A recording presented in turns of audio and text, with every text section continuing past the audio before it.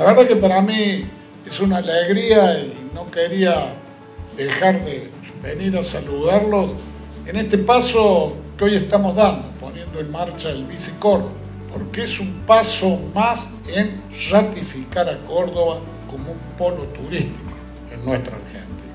Lo que hoy estamos lanzando es un paso fundamental para ser un destino del turismo internacional. Y me parece razonable que lo hagamos mirando cuáles son los que vienen vía aérea a nuestra Córdoba y que avancemos en primera instancia por lo regional, porque es la manera de construir de manera segura, es la manera de hacerlo con bases firmes y sólidas. Y para eso fue central este trabajo mancomunado con nuestros empresarios invirtiendo permanentemente y mejorando la propuesta. Y con el Estado haciendo las obras de infraestructura adecuada para que el turista que viene a Córdoba se sienta cómodo y tenga la conectividad adecuada.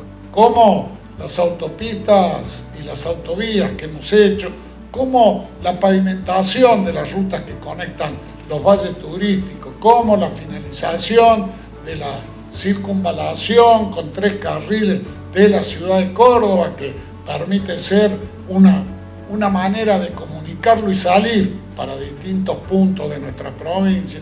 Como me alegro también de que esta mañana hayamos firmado el nuevo programa de integración laboral.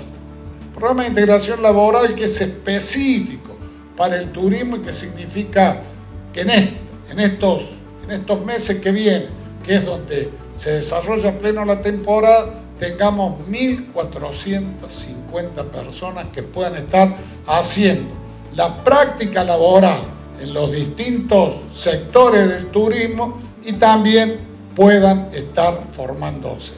Y vamos para que Córdoba sea un centro de turismo internacional y el Bici Córdoba es eso. Muchas gracias por la confianza, muchas gracias por el apoyo que permanentemente nos han dado y sigamos así, juntos, porque esto va a mejorar a cada familia de nuestra provincia.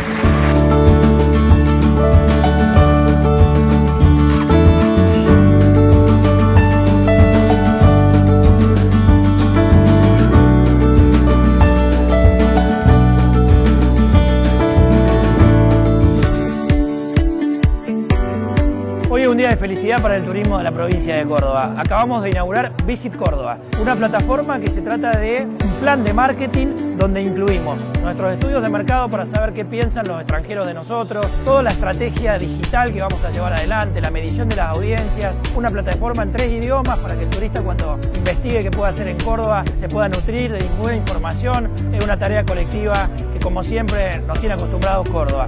Una gran impronta de la academia, todas las universidades trabajando por esto y el sector privado. Hay especialistas en cada uno de los mercados que sin competir, sino cooperando, hemos hecho juntos esta gran plataforma. Córdoba tiene un montón de pequeñas cosas que la hacen única e inigualable y además tiene una relación precio-calidad de las mejores que existen en la Argentina y diría que en Sudamérica y después también tiene a los cordobeses, que nos encanta recibir a gente